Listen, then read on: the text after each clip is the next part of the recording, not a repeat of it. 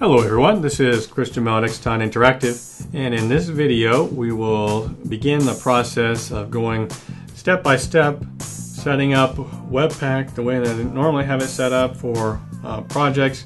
So in this video we'll take care of bundling up JavaScript and CSS and placing those bundles into their appropriate uh, folders within our root folder here. So we'll have JavaScript in the JavaScript folder, CSS in the CSS folder, and the outcome will be this beautiful result here of a blue background and hello world written in the console.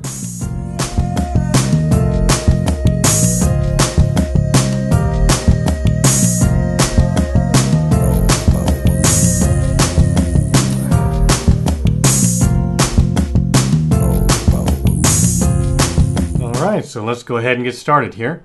So, of course, the first thing to do, since this video is all about Webpack, is to make sure that uh, it, Webpack is installed within the project. So there's a bit of background here. This is the same project that I've used for the past few videos here. We're just going to, I've already deleted things so that we can basically start over. But I already have a lot of the packages installed here, so I won't have to reinstall them. But as with all videos, I've also written an article that goes with it, which you can uh, check out in the link in the description below, which gives basically step by step what I'm doing and commands when needed for installing different packages using the, the terminal and npm. So you can uh, check those out there. Of course, we need to start by having uh, Webpack and the Webpack CLI installed. In addition to that, uh, just to let you know, of course, this is a uh, basically a almost blank or almost brand new ASP.NET uh, Core application. That actually does not matter at all. It could be just a uh, empty folder that you started a new project in. The only reason I mention it is is that basically what we're going to do is put uh, you know files that we need, source files in the source folder, and we're going to need our bundles to be spit out into our www root folder here inside of you know JS, CSS, or any other folder inside of there that we need. All right, so what we're going to do to get started here is to create our, you know, basically starting point for our application. So let's go into the source folder here, new file, we'll call it index.js. Inside of there, we're just going to make a console log statement. Friend hello world is back. So close that. And of course, video is all about Webpack, so we need a Webpack config. So in the root of our uh, project here, we'll say webpack.config.js. So now we're good, we'll close that. All right, so the first thing that we're gonna do within uh, our configuration file here is to define a constant called mode, and that's gonna be from process.env node env and it will either be whatever it is or development. I forgot to mention, although again, like I said, it's in the um, article itself. If we look inside the package.json along with the packages that are already installed, there is this build script here, which is basically what we're going to do to use to set the node environment to development and then kick off uh, Webpack. Let's go ahead and close that. Back to our Webpack config file here. So we need a way to tell Webpack where to start creating our bundles, and we'll create an entry object. The entry point can be a single string. You know, there's a couple of different options. The object is the you know most robust. It's the most uh, gives you the most flexibility. So we'll define a key here of index, and then so the key will be used by Webpack when we finish the configuration to give names to our bundles. And then we need to tell it where that where the starting point is. And as we saw, it's inside the source folder and it's called index.js. So now we tell we have told Webpack where to start. We need to tell it uh, where to put the bundle. So const output also an object. So we'll give it a file name. that file name, like I said. So we have the uh, sort of uh, wildcard here. So this uh, square bracket is name, Webpack will automatically take the key from the entry object and stick it into the name there. And so we'll have index.bundle.js when we're done. We also need to tell it where to put it. And we'll just whoop, use the current directory that we're in. And like I said, we need it to be inside the root folder inside of the JS folder. So we have root here and JavaScript folder here. All right, so now we have basically configured it. So let's do module exports. And it's going to just exports the entry object that we created, the mode, and the output object. Go ahead and save that and bring up our terminal here. Like I said, we have that command npm run build. Save that, and now Webpack is telling us that it spit out our index.bundle.js file. So we'll go over here, take a look. So now we have index.bundle.js. Close a bunch of this stuff here. So at the top of our file, we have a whole mess of Webpack bootstrapping stuff. We don't need to worry about that. Nothing to do with us. If we come down here to the bottom, we'll see that the source slash index.js has created this little bundle. So it's wrapped in a function. And we'll see inside of here, here's our console log hello world statement.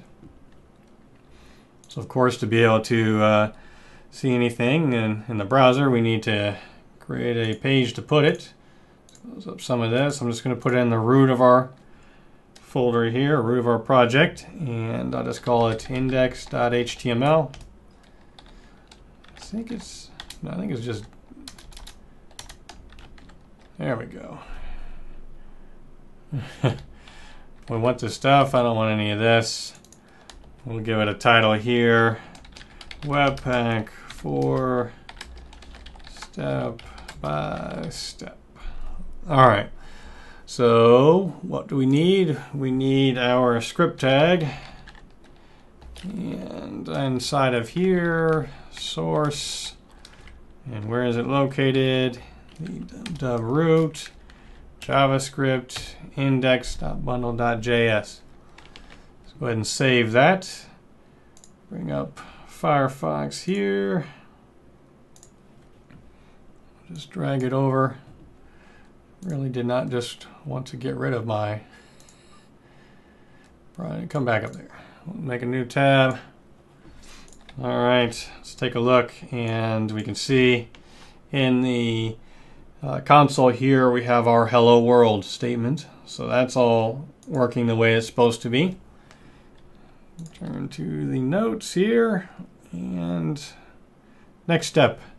Let's add, since Webpack is configured to deal with uh, JavaScript out of the box, we didn't have to do anything outside of this minimal configuration.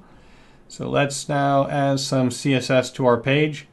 Turn to our source folder. We're just going to create it in the source folder itself. Call it index.css. Inside of here, we are just going to set the background color of our body to blue. Put it all in one line so it's easier to see inside the uh, bundle when we take a look. Let's go ahead and close that. We don't need the CSS or our bundle. We'll come back to the HTML here in a second. All right, so now we need to tell Webpack that we want to com uh, compile that. So in the end, what I want to end up with is an index.bundle.js file and an index.bundle.css file. So we'll come back here to our entry point. We'll use that key, but now we'll convert this to an array of strings. And the entry point for this one, source uh, slash slash index.css. Save that. Let's take a look here at what we have. So we run that and whoop, it fails. And like I said, it's failing because out of the box, Webpack knows how to handle JavaScript, but uh, we're out of luck with any other um, file type. So to deal with that, you may need an appropriate loader to handle this file type, which indeed we do. So again, we'll return to npm or the console, and let's find it down here. Uh, we have the error there. So what we're going to do is install the CSS loader. I said it's already installed at the time. This is the version number. So we'll return back to our JavaScript or the uh, webpack.config file.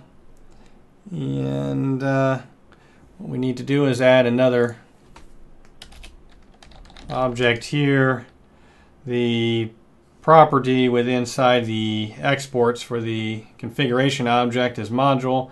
Can't use module because it'll crush that module there. So we'll, I'll just use underscore module and that's equal to, like I said, an object. Inside of this object is a rules property, which is an array. That array contains a set of objects and uh, one of the properties on the object is a test which is a regular expression. So we'll look for files that end in uh, CSS. And uh, just for thoroughness, probably don't need this in our current situation, but let's just ignore node modules. And we'll have the use and inside of the use, um, so it's a, an array of modules, either strings or well, strings basically. We'll have the CSS loader, which is the uh, loader that we uh, created previously. We'll see here in just a little bit that the order is from the bottom to the top, so it's applied to our basically the uh, output of whatever you know, in this case, it will be a JavaScript string, and then that string will get converted. Eh, guess it's not a Java.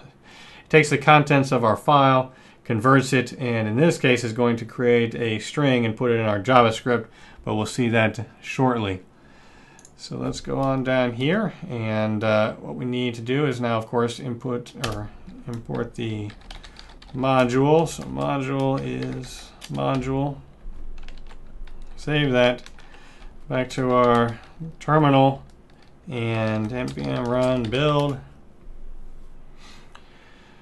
All right, so now if we don't have an error, let's take a look at the bundle. So index bundle in here, let's close the terminal.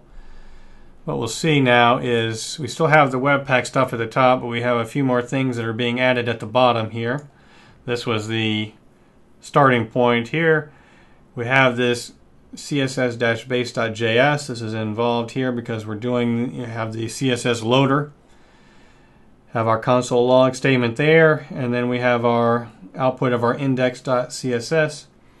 So, as I was talking about rather ineloquently, what we did was the Webpack saw that index.css file since uh, we have that test for files that end in .css, it passed that you know file basically to the CSS loader. CSS loader took care of converting the CSS into a string, and now we have our CSS embedded within our JavaScript bundle. And we can see our CSS is here, body, background color blue. Now, in some instances, this is what we want. So, for instance, for the for an Angular component, we embed the styles within the JavaScript bundle. Angular takes care of extracting it from the bundle and injecting it in a link tag in the head of the browser. This particular instance, we do not want the JavaScript in the in a CSS or in a or we do not want the CSS in a JavaScript string. So let's return back to, we'll close that, we'll return back to our webpack.config file. And we'll back to importing again. So what we need to do is to extract the CSS from that string and create a CSS file from it. And to do that, we're going to install another package from npm, which is this mini CSS extract plugin. Shows the uh, version number there. Of course, it's already installed in this project. Let's return to the top here. So const mini CSS extract plugin. Going to require request animation frame. So mini CSS extract plugin. There we have it. Like I said, we need to apply it to our uh, rules here. So CSS loader takes that CSS file and converts it into a string. So we'll come above that and we'll do the uh, mini CSS extract plugin and we need dot loader for that. All right, so now it will take care of uh, pulling that string out and creating a bundle out of it. But we do need to configure it so that it knows what to do.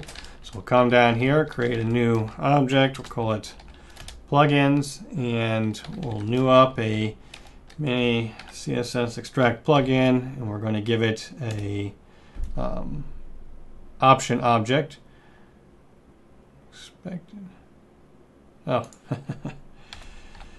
what we want is for our plugins not to be an object, but to be an array of plugins. All right, so now what we have to do is to tell it basically where to put this CSS file as well as what the name should be.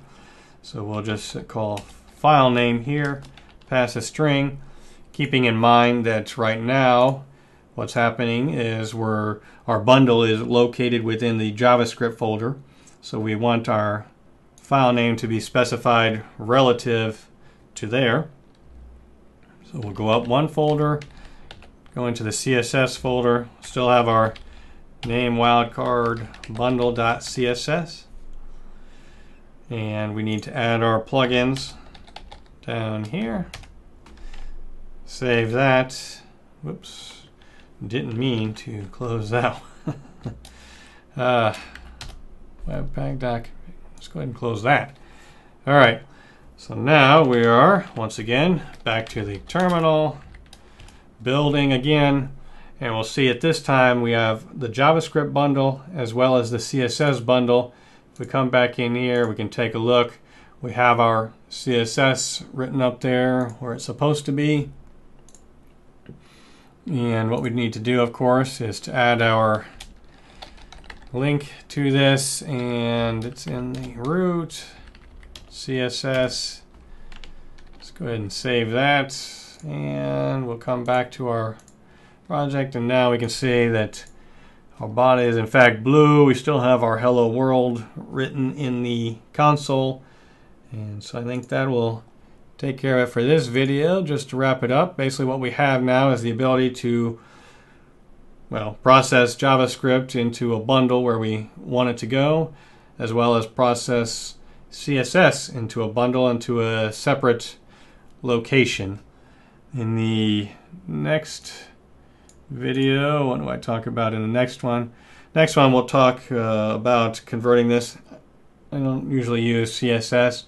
You know, of course, write most things in Sass.